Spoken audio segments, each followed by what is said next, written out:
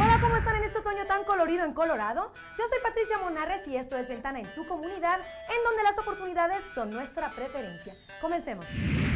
La organización Epworth Foundation y la Iglesia Transfiguración presentan belleza en lugar de cenizas.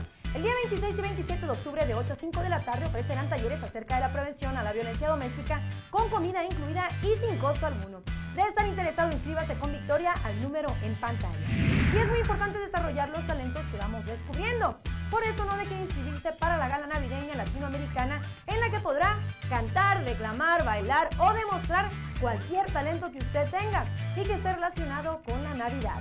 La convocatoria se cierra para el 25 de octubre. Anímese. Y nunca se imaginó que le llegarían las oportunidades de empleo hasta su casa. Y por esta razón no puede dejar de pasar esta oportunidad si usted llena los requisitos.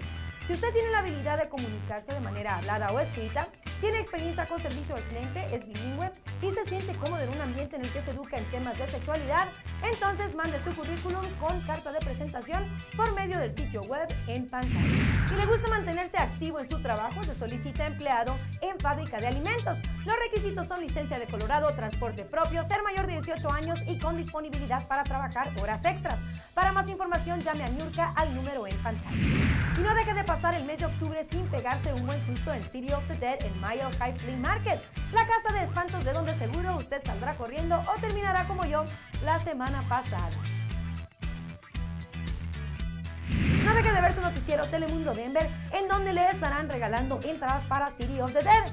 Es todo por hoy, pero le estoy viendo de lunes a viernes después de su noticiero Telemundo Denver de las 5.30 de la tarde aquí en Ventana en tu comunidad.